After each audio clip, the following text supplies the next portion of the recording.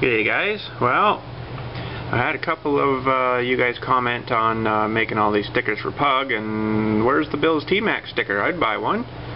So I'm like, hmm, freaking good idea, man. So, I came up with a couple of different concepts.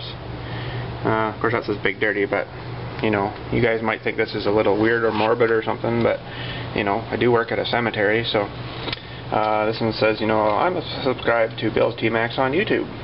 And this one's pretty cool, actually. It's got um, like a 3D background, so you can actually see, like, looks like the side of the stone, and these little stickers here make it look sort of three-dimensional. Um, got that one made up, or I got, you know, this one made up, which is a bone, which is, you know, of course, fitting too for the boneyard, right?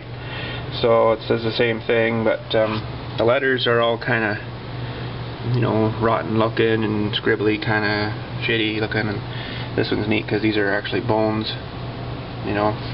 Now this bone here was, um, I believe it was this bone on the bottom of the T. So yeah.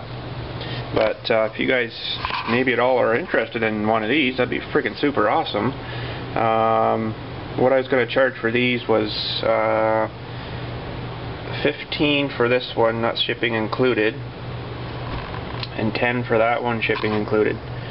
Um, I'll give you the sizes.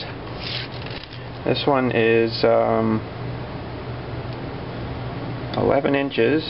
Uh, there we go, 11 by 8.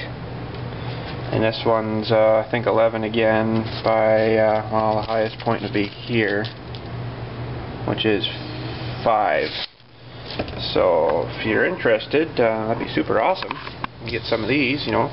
I don't know if you'd want to stick these on the back of your car, but you know, maybe in your house or your shop or garage or something, you know. Um, I could maybe make up something a little bit later that's, you know, a bit more car friendly because, you know, you might get kind of some people worried about, you know, why do you have a tombstone on the back of your car kind of thing.